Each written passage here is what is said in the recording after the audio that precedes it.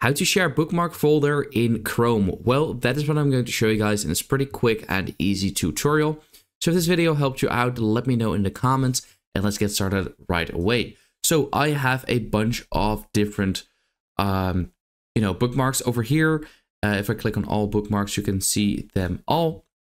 And what I want to do is basically transfer these bookmarks to a different uh, Google account. They're currently synced to this email address, but I don't use that email address anymore and I want to change it to the email address I'm currently using. So what I'll do is simply click uh, or right click on here, go to the bookmark manager. You can see all of your bookmarks and you should also see your folders or whatever over here as well. Now what you want to do is go to the top right, go to these three dots and click on export bookmarks.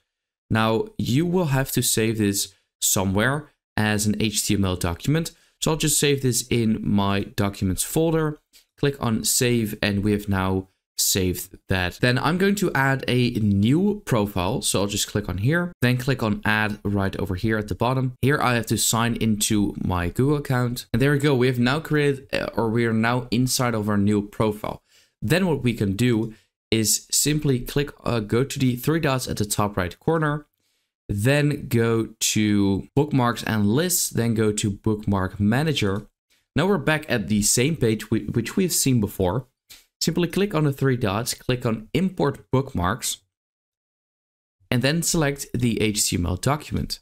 Now we can see that we have added all of our bookmarks and there is also um, a an extra folder as you can see over here, uh, which is called imported. And there you go, we're in that new profile with the brown uh, profile picture, the one, the new one, instead of the pink one over here, uh, which is exactly what I want. So yeah, that is how to share bookmark folders in Chrome